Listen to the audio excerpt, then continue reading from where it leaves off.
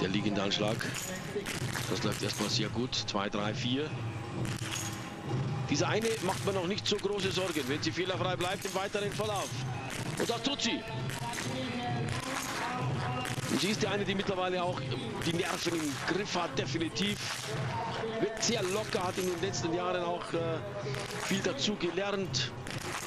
Hat natürlich auch miterleben müssen, äh, wie plötzlich das Interesse an ihrer Person äh, weniger geworden ist, weil plötzlich Magdalena Neuner ja, das Interesse auf sich fokussierte. Aber das hat Kathi Wilhelm auf sehr souveräne Art und Weise auch überstanden und hat dann ordentlich zurückgeschlagen. Spätestens hier in Pyeongchang.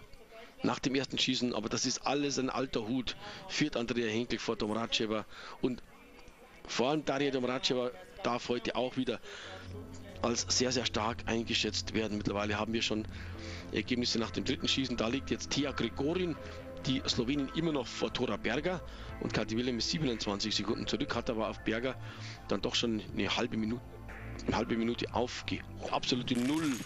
Absolute Null benötigt. Andrea Henkel ist übrigens am Stillstand. Meine lieben Freunde, wo haben wir, wo sind wir? Wir, wir, verfolgen Andrea Henkel trotzdem. Wir gehen natürlich jetzt mal auf Tora. Berg Andrea Henkel hat zweimal getroffen. Dreimal. Und muss eine Strafminute nochmal kassieren. Damit gibt es für die Andrea insgesamt doch drei Minuten und das ist heftig. Tora Berger mit einer weiteren Minute. Aber Tora Berger ist ein super Ergebnis. Mit dieser Laufform jetzt nur einen Fehler. Damit kann sie sich sehr gut platzieren. Ja, natürlich stellt sich äh, da schon die Frage, wo ist die Laufform plötzlich geblieben, der Tora Berger? Ja, die Norwegerinnen sind nach Hause gefahren. Sie haben sich zu Hause in Norwegen vorbereitet, anders zu den Herren. Die Herren sind in Antholz geblieben, haben da Höhentraining gemacht. Beispiel durchaus dazu gehören die 28-jährige Slowenin, die in ihrer Karriere noch nicht den ganz großen Wurf hat landen können. Und Olga Zaitseva, zweimal hat sie Bronze gewonnen bei diesen Weltmeisterschaften. Letztes Jahr in Östersund ist sie im eben besagten Einzelwettkampf achte, sechste geworden. Ja, mit einem Schießfehler, Tia Gregorin. Alexander Serifonov, der russische Damentrainer.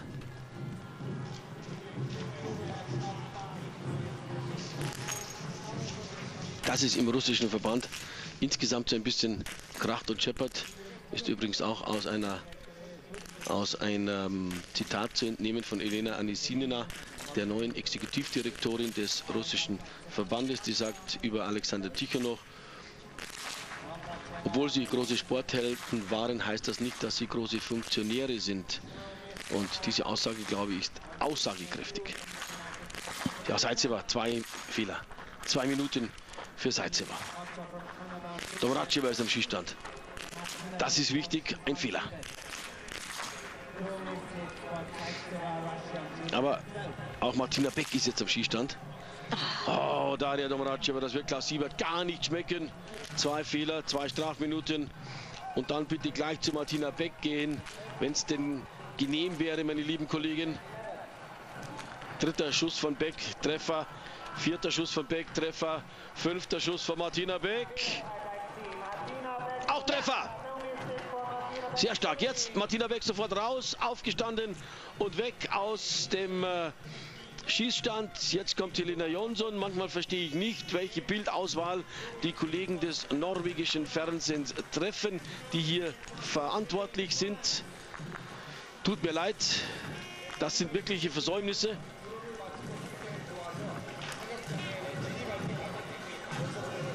Ja, eben auch Sandrine Bailly am, am, Schießstand gewesen. Und das ist mal ein, ein, schönes Zwischenergebnis, dass sie mal nach dem dritten Schießen eine Null geschossen hat im liegenden Anschlag. Das sieht man von ihr jetzt in dieser Saison auch nicht so häufig, dass sie mal eine blütenreine Weste behält in einem Anschlag.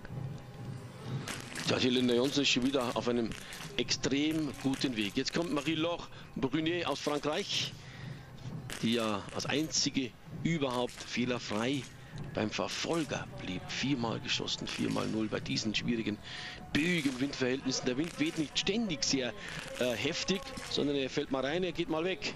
Und das ist das schwer zu berechenbare bei diesem Skistand in Pyeongchang.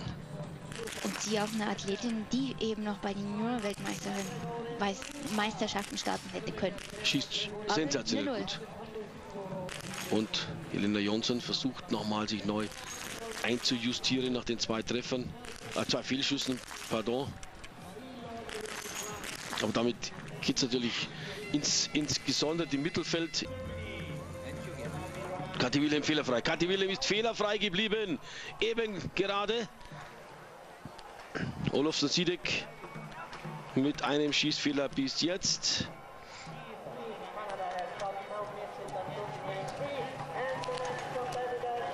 Ja, und es ist doch schön zu sehen, wenn die beiden auf der Runde zusammenlaufen können. Ja, Kathi Wilhelm ist 47 Sekunden vor. Thea Gregori nach dem vierten Schießen. Gregori ist momentan Erste. Also mit einem Schießfehler ist Kathi Wilhelm durchaus heute. Das können wir. Ich muss sagen, ich kann am besten nachvollziehen, welchen Druck man sich aufbaut, wenn man wirklich immer null schießen muss. Und Martina muss zurzeit null schießen. Sie ist eben durch diese Erkältung über Weihnachten, Neujahr und dem Start in Oberhof, das hat ihr wirklich nicht gut getan kurz nach einem Antibiotikum eben Wettkämpfe zu laufen und ich glaube, das liegt bei ihr noch im Körper und das kommt nicht so richtig raus und ob das diese Saison dann noch mal besser wird, das weiß ich nicht so genau. Ja, bei Kathi Willem ist alles wirklich alles im Lot im Augenblick. Bei Kaiser Makarenen ist alles außerhalb der Senkrechten. Das sind vier, fünf Minuten schon den Shampoos wieder bereitgestellt hat und Andreas Stützl freut sich natürlich auch dass das alles so gut, so rund funktioniert. 45 Sekunden. Sie hält diese Zeit im Augenblick. Ja, und das ist schon ein wirklich... Und guck hin, Sandrine Bailly, 3 mal 0. Ja, das wäre natürlich eine Art Wiedergeburt für die Französin. Und da gibt es halt wieder diese E-Mails und diese äh, Anrufe, die dann sagen, ja, bei denen, da guckt er nicht hin, gell? Bei den Russen, da guckt er schon hin, wenn die plötzlich schnell sind, wenn die plötzlich gut sind. Oder bei den Deutschen, wenn die plötzlich schnell sind und gut sind. Das ist eine verquere Situation und wenn ich mal gesagt habe, die Sache ist nicht angenehm, ich hätte es auch anders ausdrücken können. Es macht mich fuchsteufelswild, aber wenn man das sagt, dann ist es auch wieder nicht richtig. Aber wie gesagt, man kann es den Kollegen der schreibenden Zunft aus unserer Sicht ja nicht immer recht machen. Das ist schon verständlich, das wissen wir. Wir bemühen uns aber ganz heftig. Wir bemühen uns wirklich. Ja, und es liegt dir wirklich sehr quer am Magen. Aber ich krieg dich heute noch wieder beruhigt. Nee, nee, es liegt mir gar nicht im Magen, muss ich dir ganz ehrlich sagen. Also Andrin Bailly nimmt schon sehr das Tempo vor, vor der Brücke schon heraus. Wir versuchen ja nur, um das nochmal aufzufassen, wir versuchen ja nur auch in einem Sinne fair zu sein gegenüber äh, Athleten der Nationen, die erwischt worden sind. Das hilft ja nichts. Aber jetzt kommt Kathi Willem erstmal ins Ziel und sie wird einen Vorsprung haben von über 40 Sekunden, nehme ich an. Also um die 40 Sekunden Vorsprung gegen Gregorin. Und wenn wir das ganze Gesamtpaket mal betrachten, könnte das wieder ein Weltmeistertitel für Kathi Wilhelm heute werden. Also die Kathi, die liefert hier Weltmeisterschaften ab. Das ist wirklich... Die letzte toll. 200 Meter lange Abfahrt, mittlerweile so gut präpariert, dass sie keine Probleme mehr darstellt. Immer noch ist die Sache sehr windig, aber die Zeit von Kathi Wilhelm ist extra klasse. Die Gesamteinheit des Biathlonsports wird auf ideale Art und Weise von Kathi Wilhelm verkörpert. Ja. 40 Sekunden fast genau vor Tia Grigorin bei gleicher Schießleistung. Tora Berger ist dritte. Momentan dann Krustolieva und Andrea Henkel ist fünfte mit drei. Drei Strafrunden. Also Andrea Henkel wäre bei gleicher Schießleistung jetzt vor Kathi Wilhelm gewesen, aber das zählt nicht. Aber jetzt aufpassen auf Kathi, Kathi, Kathi auf Sandrine Bailly. Jetzt könnte Sandrine Bailly eine gute Rolle spielen, wenn sie fehlerfrei bleibt. Das tut sie. Das ist medaillenverdächtig. Medaillenverdächtig für Sandrine Bailly. Und Hand aufs Herz, das hätten wir nicht gedacht. Nein, überhaupt nicht. Gar nicht. Aber wir haben ich habe sie jetzt gerade schon im Durchmarsch gesehen. Sie liegt mit diesem sehr guten Schießergebnis schon eine Minute hinten. Ja, Marie-Laure Brunet, die läuferisch besser geworden ist, noch nicht so gut wie die Besten, aber die natürlich schon Eine feine Klinge schwingt am Schießstand. Ja, man muss